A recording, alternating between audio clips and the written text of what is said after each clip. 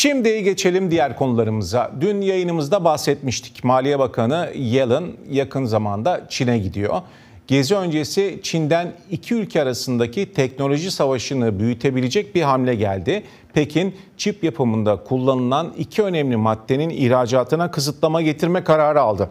Amerika için önemli çünkü Washington bu konudaki tedariğinin neredeyse yarısını e, bu söz konusu iki maddeden sağlıyor diyebiliriz. Sadece Amerika değil aslında Almanya gibi gelişmiş ülkelerde bu önemli karardan etkilenebilir. Hemen bu kararın yansımalarını Serhan Akif Akyıldız'a soralım. Serhan, şimdi e, bu karar tam da Maliye Bakanı Yellen'ın ziyarete öncesi e, geliyor. Bir misilleme mi acaba?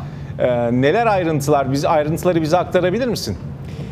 Şimdi bahsetmiştik sen de söylediğin gibi dün Yalın'ın ziyaretinden biraz. Şimdi büyük ihtimalle Pekin'deki temasları sırasında Yalın'ın e, mevkidaşlarıyla, Çinli mevkidaşlarıyla görüşecek konulara biri daha eklendi diyebiliriz. Hatırlayacaksın son dönemde Amerika zaten Çin'e yönelik çip satışına kısıtlamalar getiriyordu. Hatta bunu gerçekleştirirken Hollanda, Japonya gibi ülkeleri de yanına çekti diyebiliriz. İşte Çin'de bir nevi misilleme yapıyor Washington'a. İşte bu çerçevede iki tane çip üretiminde kullanılan iki ürüne satışına kısıtlama getirme kararı aldı. Kısıtlama ne zaman başlayacak? Çinli yetkililerin verdiği bilgiye göre 1 Ağustos'tan itibaren başlayacak. Peki bu söz konusu kısıtlamada ki Amerika'da az önce söyledik bu üründen önemli oranda Çin'den alıyor. Amerika, Japonya gibi ülkeler.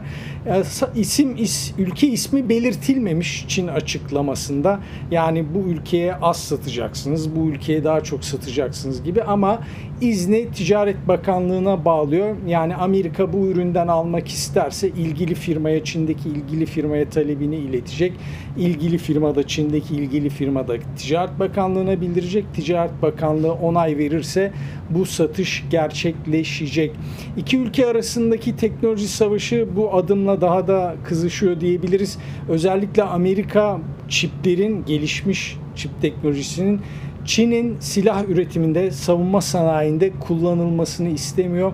İşte bu çerçevede son dönemde attığı adımlara Çin'den de bir karşılık gelmiş oluyor. Maliye Bakanı Janet Yellen iki gün sonra Perşembe günü Çin'e gidecek ki önemli bir ziyaret. Dün de bahsetmiştik. İki ülke arasındaki ilişkiler masaya yatırılacak. Önemli bir ilerleme beklenmiyor ama dünyanın en büyük birinci ekonomisiyle ikinci ekonomisi özellikle ekonomi konularında ve çip konularında ayrışmazlığa daha fazla düşüyorlar gibi. Çin Devlet Başkanı Xi Jinping bugün Şangay zirvesinde konuştu ki Şangay zirvesi sanal ortamda gerçekleştirildi.